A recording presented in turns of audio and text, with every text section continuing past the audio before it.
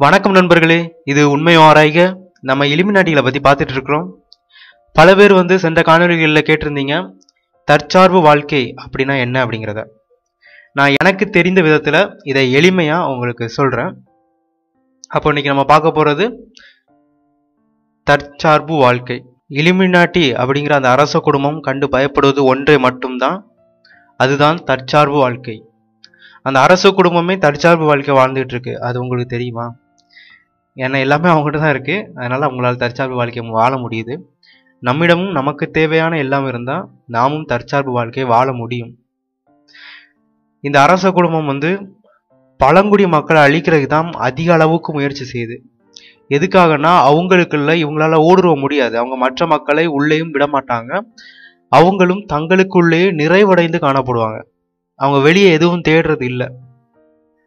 அந்த மாதிரி மக்கள் தான் வந்து இலிமினாட்டிகளின் கையிலிருந்து தப்பிச்சு இன்னும் சிறப்பாக வாழ்ந்துட்டு இருக்காங்க ஆனால் இப்போ அரச குடும்பத்தால் வந்து ஆயுதங்கள் பயன்படுத்தப்பட்டு அந்த மாதிரி இனக்குழுக்கள் ஒழிக்கப்படுது. ஒருவேளை உலகில் இருக்கும் எல்லா இனங்களும் தனித்தனியாக தங்களுடைய தற்சார்பு வாழ்க்கைக்கு திரும்பி ஒரு கட்டமைப்போடு வாழ ஆரம்பிச்சிட்டாங்கன்னா இந்த இலிமினாட்டிகள் இந்த அரச குடும்பத்தால் நம்மளை எதுவுமே செய்ய முடியாது. ஏன்னா அவங்களுடைய ஆயுதங்கள் கூட பழிக்காமல் போயிடும் அவங்க எவ்வளோ பேர் மேலே தான் ஆயுதங்களை செலுத்த முடியும்? அதனால தற்சார்பு வாழ்க்கை அப்படிங்கிறது தான் வந்து இவங்ககிட்ட இருந்து தப்பிக்கிறதுக்கான மிகச்சிறந்த வழி. நம்மளால் வந்து அதை அடையிறது கடினம். நம்மளுடைய குழந்தைகளுக்கு அதற்கான வழியை செஞ்சு கொடுப்போம். என்னால் இயன்ற வரை தற்சார்பு வாழ்க்கைனா என்ன அப்படிங்கிறத உங்களுக்கு விளக்க முயற்சி பண்ணுறேன் மிக எளிதாக சொல்கிறேன் இப்போ வந்து ஒரு உலகப்போர் ஆரம்பிச்சிருச்சு அப்படின்னு நினச்சிக்கோங்க. அரசு செயல்படலை. நகரங்கள் எல்லாம் அழிக்கப்பட்டுருச்சு. போக்குவரத்து நிறுத்தப்பட்டுட்டு ஏற்றுமதி இறக்குமதி நடைபெறலை. காவல்துறையோ மருத்துவமனைகளோ இல்லை. பணம் செல்லாது அப்படின்னு அறிவிக்கப்பட்டுருச்சு. வங்கிகள் சேவை நிறுத்தப்பட்டுட்டு. அரசு கொண்டு வரும் தண்ணீர் இல்லை அரிசி இல்லை சீனி இல்லை. பெட்ரோல் டீசல் இல்லை. அரசால் மின்சாரம் கொடுக்க முடியவில்லை. இப்போ இப்படி எதுவுமே இல்லை.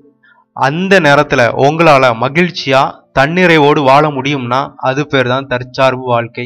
இப்படி மகிழ்ச்சியாகவும் நிறைவாகவும் தன்னிறைவோடு வாழ்வதற்கு தேவையானவை என்னதெல்லாம் அப்படின்னு பட்டியலிடுங்க பட்டியலிட்டுட்டு அதெல்லாம் உங்கள் குழந்தைகளுக்கு கிடைக்குதான்னு உறுதி செய்யுங்க. உங்கள் குழந்தைகளுக்கும் இதை பற்றி சொன்னு அது பக்கமாக திருப்புங்க. ஒரு சந்ததியில் நிச்சயமாக நமக்கு எல்லாம் கிடைக்கும். அதை நோக்கி ஒரு மாறாத திட்டத்தை வகுங்க. இந்த அரச குடும்பம் எப்படி வந்து மாறாத திட்டத்தோட செயல்படுதோ அதே மாதிரி நாமும் செயல்பட்டாக வேண்டியிருக்கு. தற்சார்பு வாழ்க்கைக்கு அத்தியாவசியமானது நிலம். நிலம் இல்லாம எதுவுமே செய்ய முடியாது.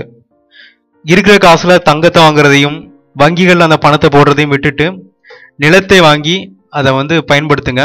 உங்களுக்கு தேவையானதை மட்டும் வாங்கி வைங்க. தேவையில்லாம அடுத்தவங்களோடதையும் சேர்த்து நீங்க வாங்கி வைக்காதீங்க. ஒருத்தருக்கு ஒருத்தர் உதவுறது தான் நம்ம வந்து சிறந்து தற்சார்பு வாழ்க்கை வாழ்றதுக்கு ஒரே வழி. அடுத்ததாக குடும்பங்கள் உறவுகள் சொந்தங்கள் இதெல்லாம் ரொம்ப முக்கியம். இதெல்லாம் ஒழிக்கிறதுக்கு தான் இலிமினாட்டிகள் மக்கள் தொகை பெருகிடுச்சு அப்படின்னு கட்டுக்கதையை பரப்பிவிட்டு உங்களுக்கு ஒரு குழந்தை போதும் அப்படின்னு சொன்னு நம்ம குழந்தைகளுக்கு சொந்தம் இல்லாமல் ஆக்கிட்டு இருக்காங்க. இதுவும் நம்மளை வந்து தற்சார்பு வாழ்க்கையை வாழ விடாமல் செய்வதற்காகத்தான். நமக்கு சொந்தங்கள் இல்லை என்றால் நம்மால் தற்சார்பு வாழ்க்கை வாழ முடியாது. அப்புறம் சில பேர் குழம்பியிருப்பீங்க நம்மளுடைய புதிய தொழில்நுட்பங்கள்லாம் விட்டுட்டு காட்டுக்குள்ளே போய் இருக்கணுமா அப்படின்ட்டு. நான் சொல்கிறது அப்படி இல்லை. நம்மளுடைய தொழில்நுட்பங்களை பயன்படுத்தியே நம்மளை வந்து தற்சார்பு வாழ்க்கைக்கு கொண்டு போக முடியும். ஆனால் தேவையில்லாத தொழில்நுட்பங்களை விட்டொழித்தே ஆக வேண்டும். நண்பர்களே நான் இப்போ சொல்லிட்டு இருக்கிறது கதையல்ல நமது எதிர்கால சந்ததிகளின் வாழ்க்கை.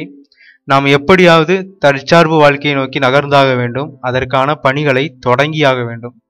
அதை நோக்கி நகர்வோம். அனைவருக்கும் இதை பற்றிய விழிப்புணர்வை ஏற்படுத்துவோம்.